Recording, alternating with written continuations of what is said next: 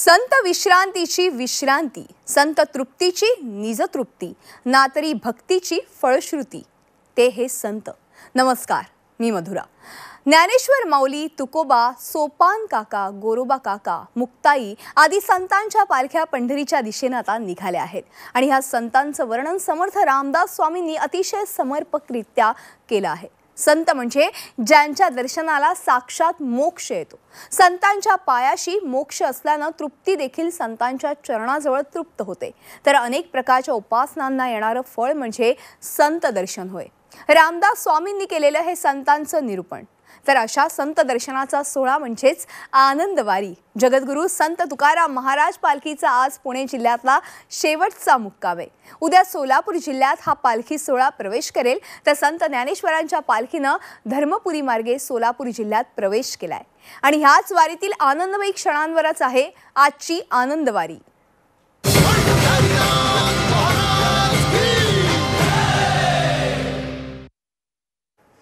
जगद्गुरू संत तुकारामांची पालखी आज इंदापूरकडून सराटीकडे मार्गस्थ झाली. पुणे जिल्ह्यातील सराटीचा मुक्काम हा संत तुकोबांच्या पालखीचा शेवटचा मुक्काम असेल.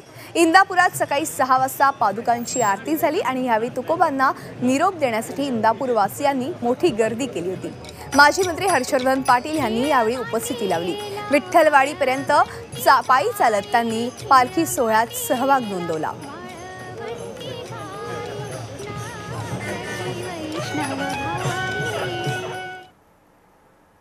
वारकऱ्यांमध्ये तरुणाईचं प्रमाण वाढतंय. पण ह्यामध्ये असेही काही तरुण आहेत जे विविध सामाजिक संदेश देण्यासाठी आणि वारकऱ्यांशी संवाद साधण्यासाठी वारी करतायत. वारकरी पांडुरंगाच्या ओढीनं वारी करतात. मात्र या तरुणांचा उद्देश वारी करण्याबरोबरच वारकऱ्यांमध्ये जागृती करण्याचा आहे. कशी चालते यांची वारी? पाहूयात. संवाद वारीच्या माध्यमातून शासनाच्या विविध योजनांची माहिती वारकऱ्यांना देण्यासाठी काही तरुण जे आहेत ते या वारीबरोबरच पुढे चाललेले आहेत आणि वारीतल्या प्रत्येक टप्प्यावरती ते जनजागृती करतात. खरं तर या तरुणांची पण ही पहिलीच वारी आहे. कसं यांचं काम चाललं आणि कसा यांचा अनुभव आहे याबद्दल आपण त्यांच्याकडून जाणून घेणार आहोत. तुम्ही रोज वेगवेगळ्या ठिकाणी जाऊन ही पथनाट्य करता वारकऱ्यांना गोळा करता. कसं एकूणच तुमचं हे काम चाललं आहे तुमची पहिलीच वारी आहे. कसा अनुभव आहे तुमचा वारीतला? अनुभव सांगेल तर खूप मजा येते. ही माझी टीम आहे सगळी. आणि टीम वर्क करताना हा माझा मित्र आहे. परत ही सगळी टीम आहे. आम्ही पहिल्यांदाच वारी करतो आणि ज्या खऱ्यामध्ये या वारकऱ्यांच्या पायामध्ये जादू दिसते. काय सांगशील तुम्ही कशा पद्धतीने हे सगळं नियोजन करता? नियोजन कसं असतं तुमचं? कारण की तुम्ही दुसऱ्या दिवशी तुम्हाला जिथे जायचं असतं त्या ठिकाणची माहिती काढणं ते गाव तिथल्या गावकऱ्यांशी ओळख करून घेतं. हे नियोजन तुमचं कसं असतं की सगळं आधीच ठरलेलं आहे? अगदी ठरलेलंच असतं असं नाही पण का ते आधी त्याचं आमचे कोऑर्डिनेटर असतात. ते आज जर पालखी या गावात तर उद्या पालखी किती वाजता पोहोचणार आहे तिकडे? तर तिकडे पोहोचायचं आणि कुठले कुठले आपले डेस्टिनेशन आहे प्लेसेस आहेत ते शोधायचे. नक्कीच वारीमध्ये तरुणाईचं प्रमाण दिवसेंदिवस वाढतंय. मात्र असेही काही तरुण आहेत जे वारी तर करतात करतच आहेत. मात्र वारीच्या माध्यमातून काही सामाजिक संदेशही देत आहेत. आणि खरंच वारकऱ्यांच्या रंगात हे देखील रंगून गेलेले दिसत आहेत. व्हिडिओ जर्नलिस्ट विद्याधर शेटकेसह अश्मी पवार झी मीडिया बावडा. आणि याच वारीविषयी आपण अधिक माहिती जाणून घेणार आहोत. आमच्या प्रतिनिधी अश्विनी पवार यांच्याकडून. अश्विनी अर्थातच आता सराटीमध्ये एक शेवटचा मुक्काम आहे आणि तुकोबांच्या पालखीचा हा शेवटचा मुक्काम आपण म्हणतोय. मला सांगा की तुमच्यासोबत आता तुकाराम महाराज पालखी सोहळ्याचे प्रमुख आहेत. एकूणच पुढचा आता कसा टप्पा असणार आहे आणि अकलूज इथे रिंगण पार पडणार आहे. तिथे त्या ठिकाणी कशा पद्धतीची तयारी केली जाते? आणि सराटीमध्ये थांबण्याचं वैशिष्ट्य एकूणच त्याविषयी. नक्कीच मधुरा सराठीमधली आ- आजचा तुकोबांचा मुक्काम जो आहे तो पुणे जिल्ह्यातला शेवटचा मुक्काम आहे. यापुढे पालखी जी आहे ती सोलापूरमध्ये प्रवेश करेल आणि या ठिकाणी निरास्नान देखील तुकोबांच्या पादुकांना घातलं जातं.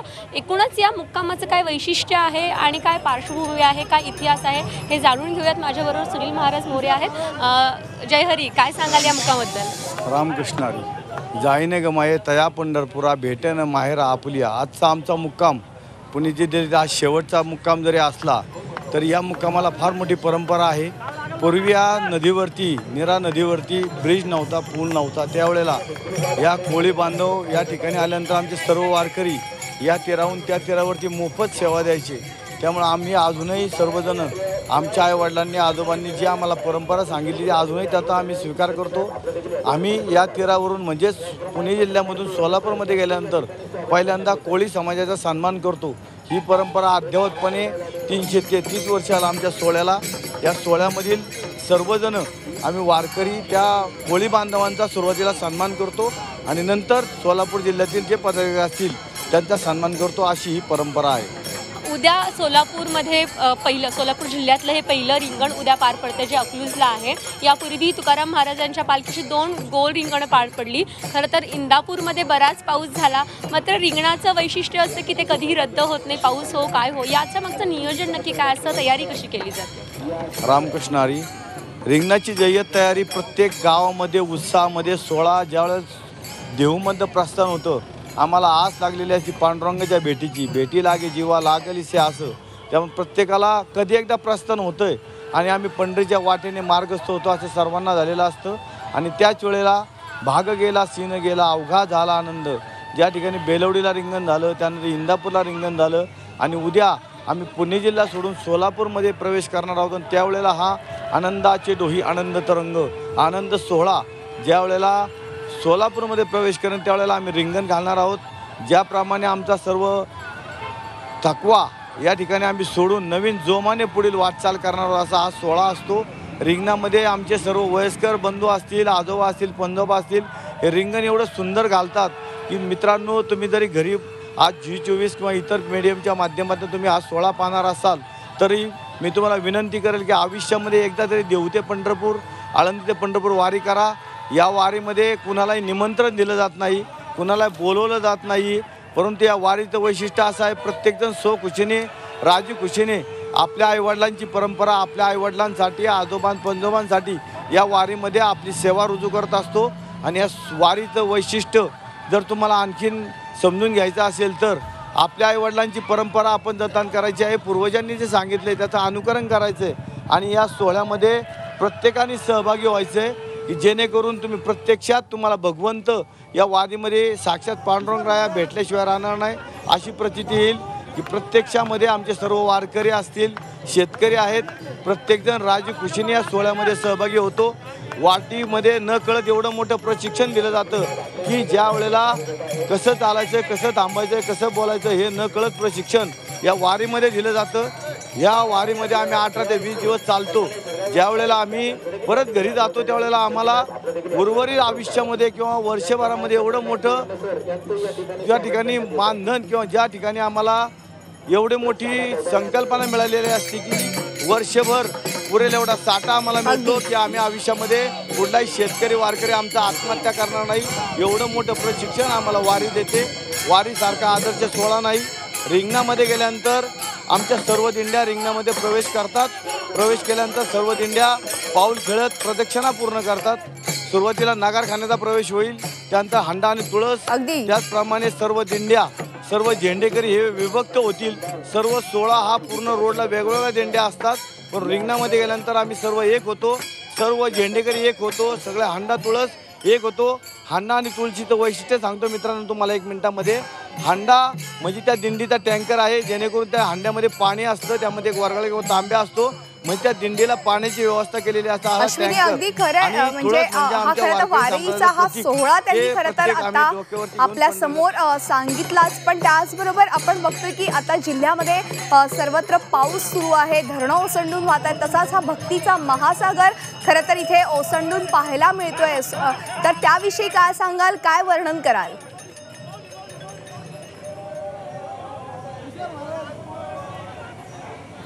नक्कीच मधुरा जसे जसं हा दिंडीचा सोहळा पुढे सरकतोय तसं तसं अनेक वारकरी जे आहेत ते नव्याने या वारीमध्ये सहभागी होत आहेत.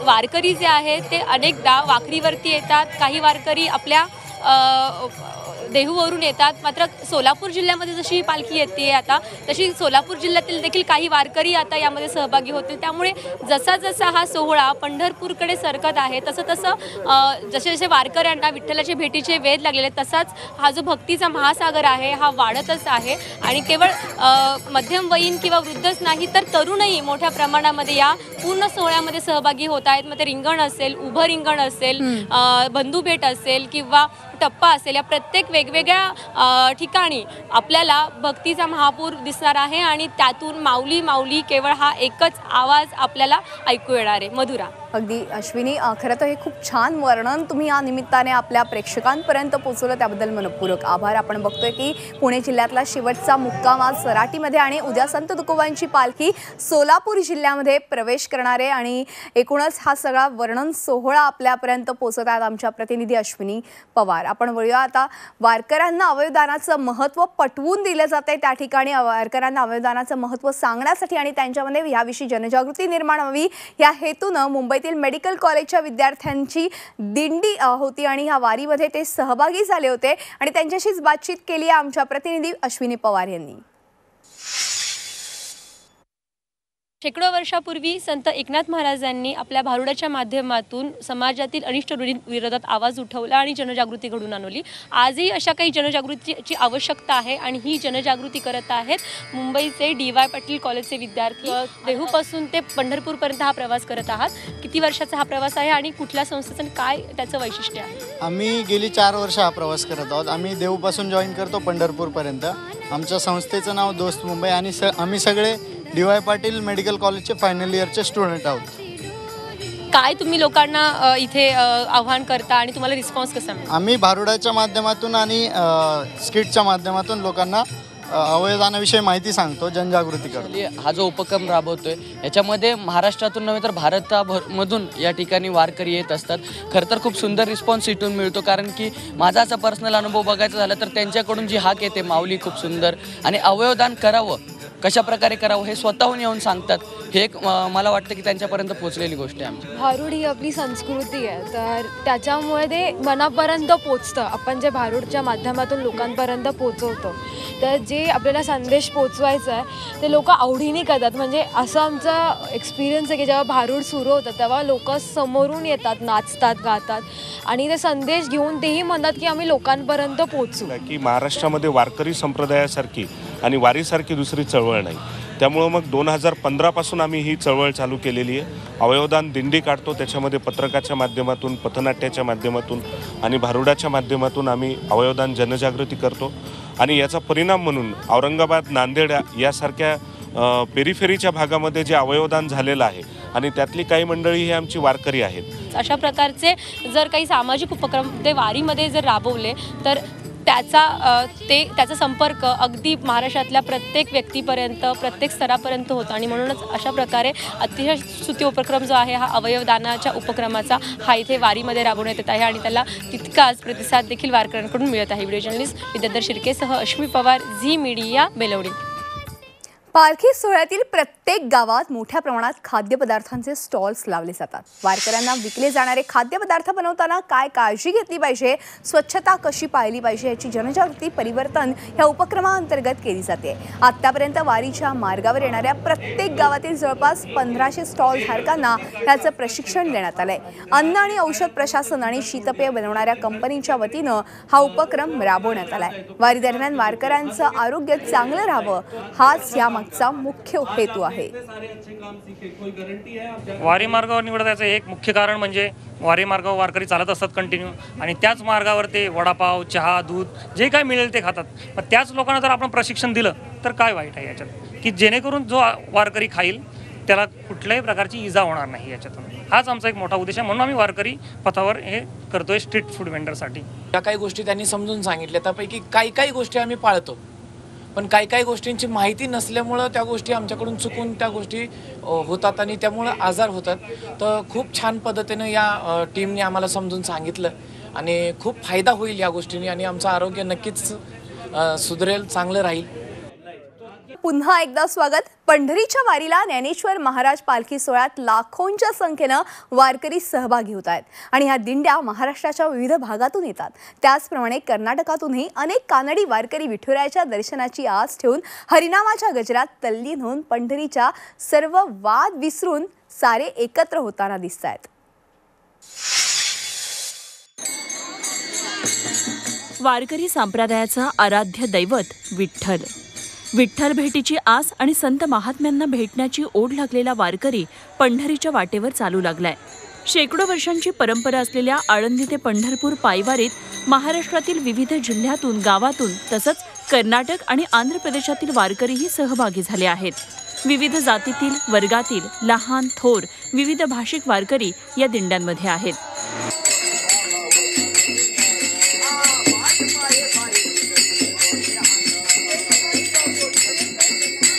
हम लोग कर्नाटक से आ रहे हैं। हम लोग यहाँ पे हमारा दादाजी भी आए इससे इनके दादाजी भी से पर, प्राचीन परंपरा से इन लोग हम लोग आ रहे हैं यहाँ पे। अ, तो हमको बहुत खुश लगता है। भगवान की यहाँ जो हम लोग ये पालन करते हैं हमको बहुत उद्दीर्ण हुआ है। हम लोग बहुत कुछ पा लिए है भगवान पांडुरंग से। यहाँ जाति भेदभाव कुछ भी नहीं चलता। सब एक ही सभी एक एक है यहाँ पे। और यहाँ तो भीड़ बहुत है ना। इतना इतना है कि तुम आप कहीं कहीं भी ऐसा भीड़ नहीं दे सकते। इतना भगवान को मानते हैं पंडर पंडरी माऊली को मानते हैं यहाँ पे। वारीत सहभागी झालेले खऱ्या सुखाचा आनंद उपभोगत आहेत. घरातील अडचणी व्यवसायातील समस्या प्रापंचिक कटकटी आणि रोजच्या जीवनातील तोचतोचपणा बाजूला सारून हे वारकरी वारीला आले आहेत. कोणी ज्ञानोबांचे तर कोणी तुकाराम महाराजांचे अभंग म्हणतात. मात्र महाराष्ट्रासह कर्नाटक राज्यातून देखील शेकडो दिंड्या यामध्ये सहभागी होतात. प्रांतवाद विसरून सारे एक होताना दिसतात. तसंच महाराष्ट्रासह कर्नाटकातूनही शेकडो दिंड्या या वारीमध्ये सामील झाल्यात. प्रांतवाद विसरून हे सारे एक होताना दिसत आहेत. कर्नाटक दिंडी आणि महाराष्ट्र दिंडी हे दोन्ही मिळून एकत्र पांडुरंगाच्या चरणी दर्शनासाठी जातात. तिथं भेदभाव काही नाही. दोन्ही सगळे सा सामंजस्याने एकत्र जातात. तिथं सर्वजण माऊलीच्या सोहळ्यामध्ये एकत्र येतात. जवळजवळ चाळीस लाख भाविक एकत्र आलेले आहेत. या पालखी सोहळ्याचा आनंद हा अप्रतिम आहे. माझा हा पहिलाच प्रसंग आहे. मी आळंदीहून पायवारी करते आहे. माऊलीचा जो सोहळा होता तो प्रथम पाहून डोळ्याचे पारणे फिटल्यासारखे वाटले. वारी म्हणजे काय? तर सर्व धर्मातील सर्व जातीतील माऊलींना एकत्र करून गुण्या गोविंदानं राहण्यासाठी दिलेली शिकवण असते. यामुळेच ही वारकरी संप्रदायाची परंपरा तीनशे पंचावन्न वर्ष अबाधित आहे.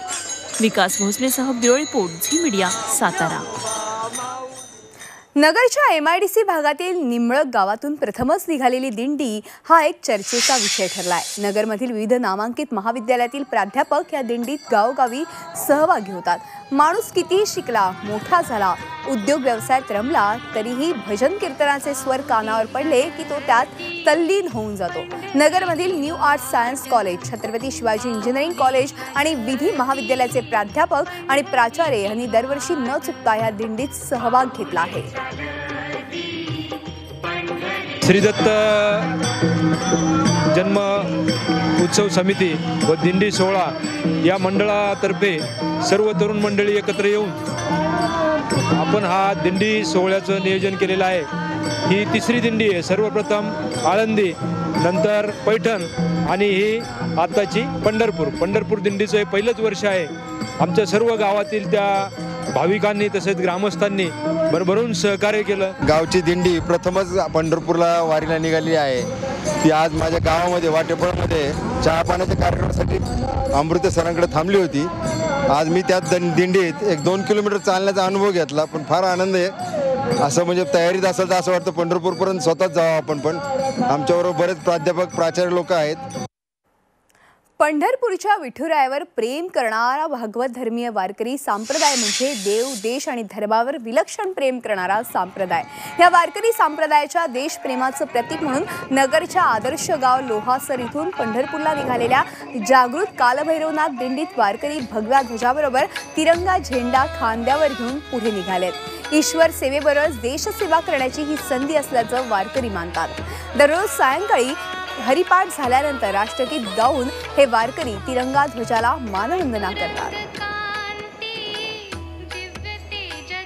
हिंदू धर्माच्या ध्वजाबरोबर राष्ट्राभिमान म्हणून देशाचा अभिमान म्हणून आम्ही तिरंगा झेंडा या ठिकाणी घेत आहोत. हिंदू धर्माचा प्रसार प्रचार होईल त्याबरोबर आपल्या महाराष्ट्राचा धर्मध्वज असणारा ध्वज तिरंगा सुद्धा बरोबर घेतलेला आहे. दिंडीचं खास वैशिष्ट्य असं राहिलं की महाराष्ट्रातील एकमेव दिंडी आहे. या आमच्या दिंडीमध्ये भगव्या ध्वजाबरोबर तिरंगा ध्वज हा ग्रामस्थांनी किंवा दिंडी समितीने ठेवलेला आहे. आणि ज्या ज्या गावामध्ये दिंडी जाते आहे त्या त्या गावामध्ये भगव्या ध्वजाबरोबर तिरंगा ध्वज पाहिल्यानंतर तरुणांमध्ये किंवा त्या ग्रामस्थांमध्ये एक नवचैतन्य निर्माण होत आहे. आषाढी एकादशीला ओढ लागते ती आपल्या लाडक्या पांडुरंगाला भेटण्याची. मात्र प्रत्येकाला ते शक्य होत नाही. मात्र विठ्ठलाच्या भक्तीचे अनेक मार्ग आहेत. आणि त्यासाठीच औरंगाबादमध्ये एक्कावन्न हजार लाडूंची बांधणी करून ते पंढरपूरला वारकऱ्यांना मोफत वाटून पांडुरंगाची सेवा केली जाते. माझा एक तरी लाडू माझ्या पांडुरंगाला ही संकल्पना विष्णुनगर भागातील नागरिक राबवतात. सातशे किलो शेंगदाणे सातशे किलो गूळ आणि पा पन्नास किलो साजूक तूप वापरून एक्कावन्न हजार लाडू तयार केले जातात. दोनशे ते तीनशे महिलांचा सहभाग या लाडू बांधणीत असतो. लाडू बांधणी आधी एक महिन्यापासून तयारी केली जाते.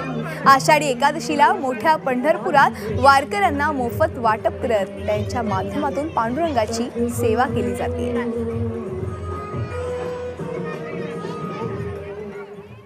यानंतर आनंदवारीमध्ये आज आपण इथे सांगतो उद्या पुन्हा भेटूया आनंदवारीमध्ये पाहत राहा झी चोवीस तास. रहा एक पाऊल पुढे.